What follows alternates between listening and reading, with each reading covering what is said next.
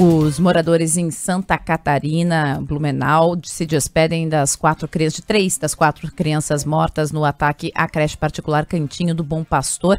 Quem fala ao vivo conosco agora da cidade catarinense, no Vale do Itajaí, é a repórter Danúbia de Souza. Oi, Danúbia. Olá, bom dia. Inclusive, estava virando aqui a câmera para mostrar para vocês esse exemplo de solidariedade aqui em Blumenau. Olha só quantas pessoas vieram aqui até a creche, né, prestar solidariedade, rezar por essas famílias, né, realmente fazer um acolhimento. Olha só, o pessoal chegando aqui, acenderam velas, colocaram flores, né, deixaram até alguns brinquedos ali em homenagem às crianças.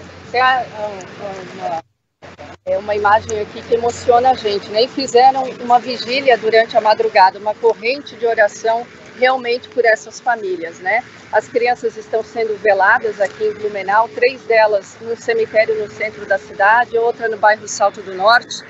E o enterro né, vai acontecer hoje pela manhã das três crianças e a outra no início da tarde. A comunidade ainda está sem acreditar no que aconteceu, né? Pessoas aí de várias regiões têm vindo aqui à creche, né, prestar solidariedade, mesmo não conhecendo as famílias das vítimas. Enfim, é uma situação difícil de acreditar.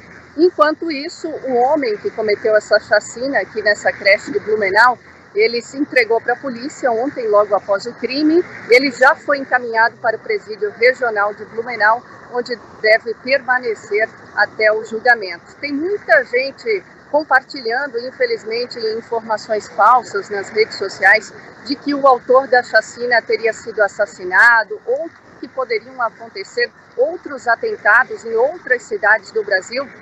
São notícias falsas, inclusive ontem a Polícia Civil, o governador do estado, o setor de inteligência da Polícia Civil fez questão de esclarecer, de esclarecer que essa situação que aconteceu aqui em Blumenau é, foi um, um, caso isolado, não tem relação com jogos de videogame, por exemplo, que algumas pessoas estavam dizendo, ah, pode ter sido aí uma ação em várias cidades, né, com relação a jogos de videogame, não tem relação. Então, a Polícia Civil está investigando o caso, que teria motivado esse homem a cometer essa crueldade aqui em Blumenau, essa atrocidade, né? Mas é importante a gente salientar que tem muita fake news sendo espalhada por aí. Então, o autor da chacina está preso, né? E neste momento aí a cidade, né? Eu acredito que todo o estado, todo o Brasil de luto por essas crianças. Não é à toa que tanta gente tem vindo aqui prestar solidariedade a essas famílias.